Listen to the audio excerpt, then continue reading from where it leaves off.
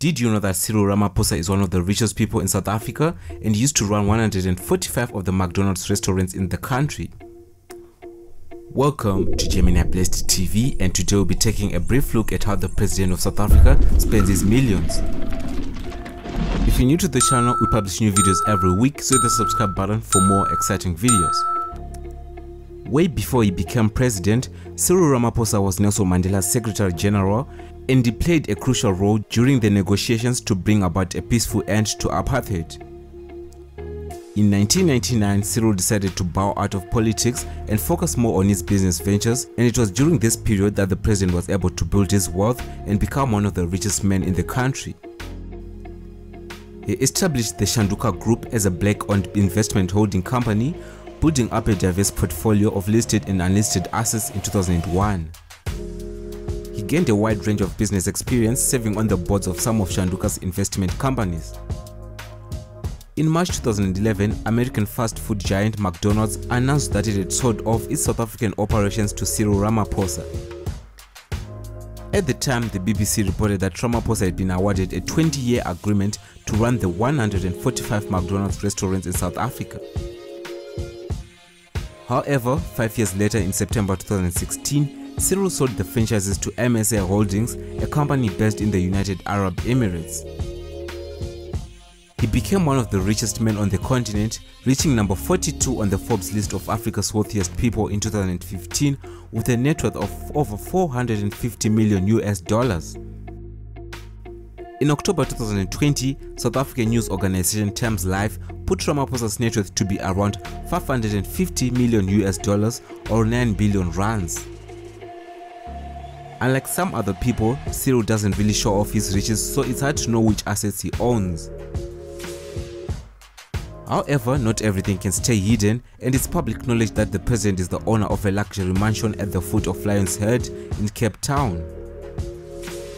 The mansion was built on a massive area of land he acquired for a whopping 30 million rands in 2010. If you want to, you can rent the house but it costs 175,000 rands a month so you better come prepared. If you're lucky, you may even spot the president as he also owns the house next door but for private use only.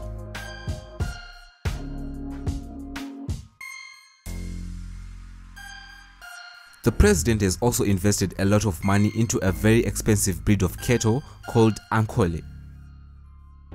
He recently sold 9 of his cattle at an auction held in 2021 for 2.7 million rands with his most expensive bull selling for 700,000 rands.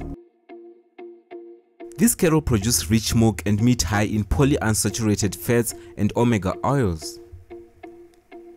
They can live up to 30 years relying on limited nutrients and water.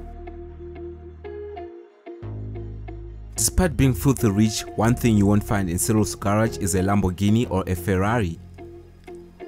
Although his presidential fleet includes a lot of high luxury cars, Cyril himself is not a fan of them.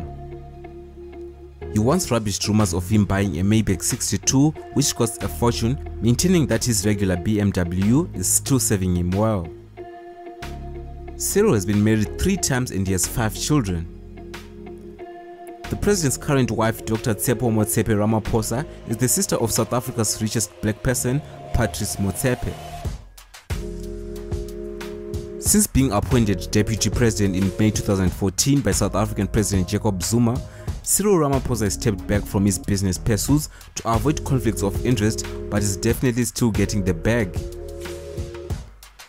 In 2018, he became president of South Africa without a general election after Jacob Zuma resigned and the rest is history. Once he is finished with his presidential term, he doesn't really need to continue working, he can just spend the rest of his life traveling from island to island because he can afford to.